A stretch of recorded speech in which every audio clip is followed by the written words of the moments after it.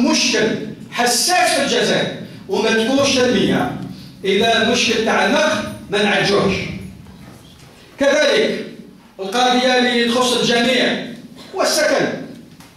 السكن الاجتماعي أو غير الاجتماعي. باش نديروا السكن لازم تكون إرادة سياسية باش نمتصوا هذا المطلب. الشيء هذا راه يندار في العالم. إحنا من 62 اليوم رانا نتخبطوا في نفس المشاكل. مشكل السكن هو عنده حل